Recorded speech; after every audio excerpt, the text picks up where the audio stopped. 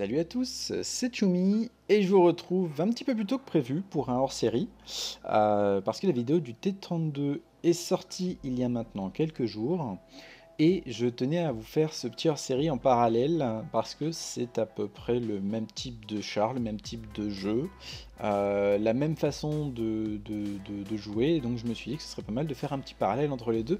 C'est aujourd'hui le tour du T34. T34 qui est donc un char lourd premium tier 8 qui a le même équipage que le T32. Hein. donc euh, comme vous pouvez le voir je partage l'équipage du T32 sur mon T34 pour le faire monter en compétence. Alors, on va voir un petit peu euh, la, différence entre le T32 et le T34, parce que justement, ils ont un, gameplay similaire, mais euh, vous aurez du mal en fait à jouer le T34 comme un T32 et vice versa. Je vais vous expliquer pourquoi. Alors, tout d'abord, point de structure, les deux chars sont sensiblement pareils, 1500-1550. Qu'est-ce qui va changer? Ça va être la vitesse. Alors vous voyez que tous les deux ont 35 km/h de vitesse maximale, sauf que l'un a 25 degrés de rotation, 25 degrés par seconde, l'autre 22. Et également au niveau du poids et de la puissance moteur. A savoir que le T32 a un, moteur de 800 chevaux pour 60 tonnes. Le T34, lui, a 810 chevaux pour 65, presque 66 tonnes. Ce qui veut dire que au niveau du ratio poids-puissance, donc ce qu'on appelle la puissance massique, on est à 13 sur le T32 et à 12 sur le T34. Donc le T34 va être beaucoup plus lent, beaucoup plus pâteau, beaucoup moins maniable. Également, la vitesse de rotation de la tourelle est de 25 degrés secondes sur le T32. Sur le T34, on tombe à 18. C'est complètement pato. C'est, voilà, vous attendez pas à avoir un char qui aura la mobilité du T32 avec un T34, c'est pas possible. Euh, également, la petite chose à savoir pour l'histoire, initialement, le, T34 avant était un char de tiers 9, hein, il me semble. Alors, j'avais pas commencé le jeu à cette période-là, c'est les, les on dit, c'est ce que m'ont dit les anciens, que le T34 était le successeur du T32 avant le tiers 10. Donc, le T34 était avant le tiers 9 euh, du T32, ce qui a été remplacé par le M103. Le, un peu comme ils ont fait avec le, Centurion Action X et le FV4202 qui risque d'être basculé en tier 8. Là c'est pareil, ils ont basculé T34 en tier 8 et mis le M103 en, en tier 9. C'est pour ça que c'est vraiment euh, du, du copier-coller par rapport au T32 et au T29. Donc vous vous étonnez pas. Alors, la, différence qu'on va rencontrer également entre le T32 et le T34, c'est le blindage de tourelle, c'est-à-dire que le T32 avait 298 de face, 197 sur les flancs et 152 à l'arrière. Le T34, lui, il va être un peu moins blindé. Hein. on passe de 298 à 279 de face. Sur les flancs, c'est la chute libre. Hein. Euh, on passe de 197 à un petit 127. En revanche, en blindage arrière, il est à 203, là où le T32 était à 152.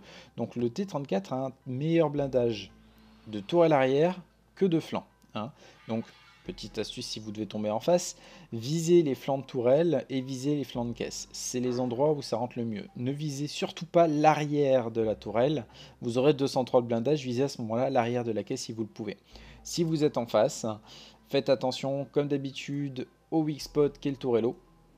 Et puis sinon, ben, globalement, pas trop trop de, weak spot de face, euh, euh, si ce n'est sur la caisse, hein, vous percerez toujours aussi facilement. Voilà.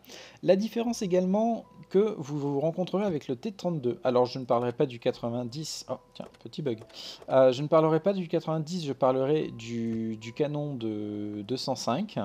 Et je vous parlerai donc du, du canon, bah, le seul et unique hein, que vous aurez avec le T34. C'est quoi la différence? C'est l'alpha et la cadence de tir et bien évidemment la pénétration. Qu'est-ce qu'on avait sur le T32 On avait un canon de 105, là on a un canon de 120, c'est beaucoup plus gros. Une cadence à 5,66, là on a une cadence de 4, ce qui nous fait un rechargement à 12 secondes. vous imaginez pas la différence quand vous avez un char qui, qui retire... Un char qui reload en 8,75, pardon, et que vous passez sur un char qui reload en 12 secondes 3.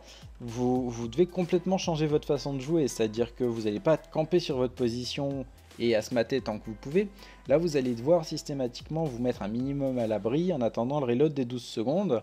Euh, d'autant plus que 12 secondes, vous aurez énormément de mal à tenir tête à des chars en 1 contre 1 si le char adverse a un temps de reload plus rapide. Euh, il peut potentiellement vous sortir avant que vous ayez le temps bah, de recharger, tirer, recharger, tirer. Vous allez avoir une cadence bien, bien inférieure par rapport à ce que vous allez rencontrer en face. Ça, c'est quelque chose à voir. Euh, aussi, donc c'est bon, c'est quelque chose que vous retrouvez sur pas mal de chars de tier 8. Hein. Le leveux, par exemple, euh, qui aussi a une cadence qui n'est pas folichon. Après, vous allez avoir des, chars à cadence plus élevée. Hein. Donc faites attention à ça. Également, euh, ce qu'il faut mentionner, c'est la dispersion. On voit une dispersion de 0,35. C'est une dispersion qui est super pour un char lourd. Il est précis, mais un truc de dingue.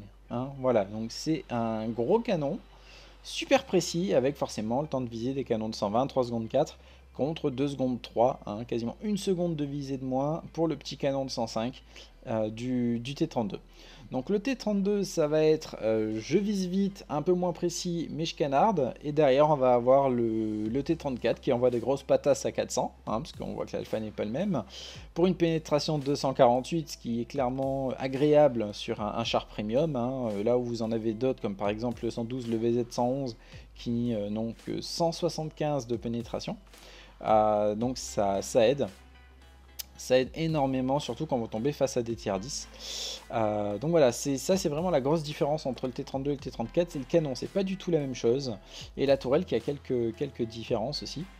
Euh, pour le reste, bah, c'est pareil, même équipage, même type de, de, de consommable et d'équipement. Hein. Le, la ventile, le fouloir qu'il a, et je le précise, obligatoire, parce qu'avec une cadence de tir de 4 coups par minute, eh ben vous ne pouvez pas vous en passer. Et à savoir que au plus un canon est long, recharger, au plus votre flouard va être efficace. Parce que n'oubliez pas que c'est 10% du temps de rechargement. C'est un pourcentage. Au plus votre canon sera lent, au plus votre fouloir sera efficace.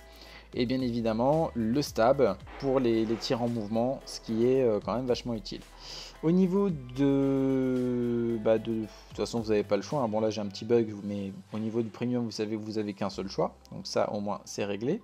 Euh, la radio, les chenilles, le moteur, la tourelle, donc comme je disais, qui est l'une des deux différences avec le canon, qui est donc la deuxième différence. Pour le reste, c'est du gameplay assez similaire à du T32. Hein, euh, la seule chose, c'est que voilà, n'oubliez pas que vous allez devoir aller à une vitesse un cran en dessous. Euh, une vitesse un cran en dessous et un temps de rechargement un cran en dessous également, mais un alpha de 400. Donc là, plus de surprise. Euh, la petite surprise que vous avez pu voir en fin de vidéo du T32, bah avec celle-là, vous ne l'aurez pas. Parce que là, votre 400, vous l'aurez, sachant que l'amplitude de dégâts, elle est comprise entre 300 et 500. Donc 400, euh, c'est la moyenne. Et vous pouvez osciller donc entre 300 et 500 au niveau de l'alpha de ce canon-là. C'est clairement un très très bon canon. Juste le temps de reload qui est un petit peu, euh, un petit peu à la traîne. Mais ça reste un bon char. Donc voilà, je vous laisse profiter du replay que, j'ai pu faire sur, euh, ce T34. N'hésitez pas à laisser dans les commentaires bah, ce que vous en pensez, si vous l'avez, comment vous le jouez. Et pour ma part, bah, je vous souhaite euh, de passer une excellente fin de journée et à bientôt pour un prochain tuto. Bye bye